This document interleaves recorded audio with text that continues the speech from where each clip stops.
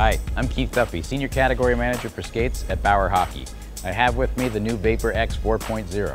The Vapor X 4.0 has a Tech Nylon quarter package and also benefits from the new X-Rib construction and great vapor graphics. X-Rib construction helps provide great structure and support throughout the skate. The X 4.0 has a great red hydrophobic liner, looks cool, and it feels great. The Vapor X 4.0 has a two-piece white felt tongue with an integrated metatarsal guard to help fight against lace bite. The X 4.0 as the number one holder in the game with the Tuuk Lightspeed 2. It also has the Tuuk Super Stainless Runner. The new Vapor X 4.0 is a great performance level skate that has all the features and benefits to help you play your best.